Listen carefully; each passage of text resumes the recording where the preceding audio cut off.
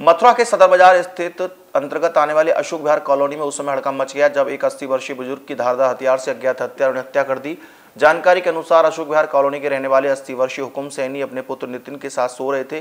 रोज़ाना की तरह देर रात्रि हुकुम सैनी घर की छत पर सोए हुए थे। सुबह जैसे ही परिजन छत पर पहुँचे तो उनके होश उड़ गए। हुकुम सैनी रक्त रंजित हालत में छत पर पड़े थे। आनंद फानन में परिजनों द्वारा पुलिस को सूचना दी गई, जिसके बाद एसपी सिटी मातन प्रकाश सिंह के साथ बाहरी पुलिस बल मौके पर पहुँच गया। यहाँ पुलिस ने मृतक के शव को कब्जे में लेकर पोस्टमार्टम के लिए भिजवाकर घटना की जाँच शुरू कर दी। जानकारी देते हुए एसपी सिटी मारतंड प्रकाश सिंह ने बताया कि जानकारी मिली थी कि अशोक विहार कॉलोनी में एक बुज़ुर्ग की हत्या कर दी गई है। सूचना मिलते ही पुलिस मौके पर पहुँची है। पुलिस के साथ forensic team, dog squad team भी जाँच कर रही है। पुलिस पूरे मामले की जाँच कर रही है।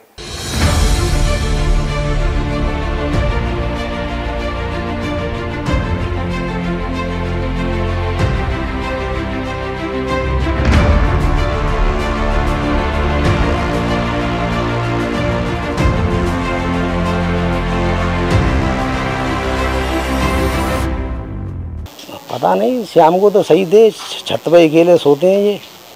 हाँ छोटे भाई भाई वगैरह ये नीचे सोते हैं बच्चे।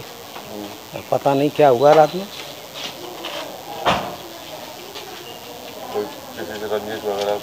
बाबू अब हमें तो सल है ना है कछु कोई हमारी निगाह में तो ऐसी कोई बात है ना है? कि कौन थे ये आपके? ये पिताजी हैं हमारे। उम्र कितनी होगी?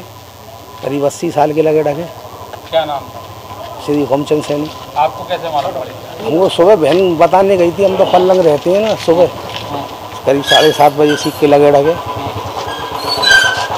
जब मालूम पड़ी थी हमको। रात को किसी को मालूम नहीं, नहीं, नहीं। कौन कौन था? इधर तो छोटा भाई रहता है उसके बच्चे रहते हैं। उनको मालूम नहीं पड़े? अब बाबू अब हमें क्या मालूम? हम तो पल्लंग रहे हैं दूर घर है हमारा थोड़ा। फिर भी आप क्या मानते हैं?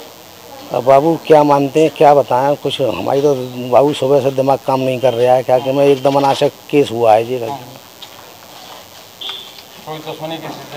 अब बाबू क्या बताएँ मैं अब ये है हमारी समझ में कुछ नहीं आ रही बाबू हम तो कोई तो ऐसी बात रही होगी। बाबू सब क्या बताएँ कुछ कुछ नहीं बता पा रहे हम तो बाबू।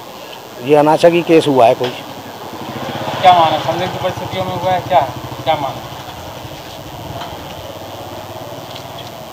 बाबू अब देख लो मैं तो कुछ इस मामले में बता नहीं सकता हूँ क्या हुआ है क्या नहीं हुआ। एक तो ये अनाशा की कोई केस बन गया है कि?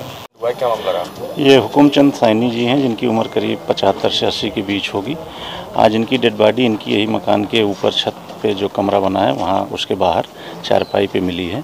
ऐसा लग रहा है कि रात में ही इनके साथ जो भी घटना हुई है रात में ही हुई है। परिवार वाले कोई दुश्मनी की बात नहीं बता रहे हैं अभी तक कोई तहरीर नहीं दिए हैं। फ़ील्ड यूनिट डाग स्क्वाड सारी टीमें आई हैं अपनी जाँच कर रही हैं और जैसे ही तहरीर मिलेगी अग्रिम कार्रवाई पुलिस करेगी।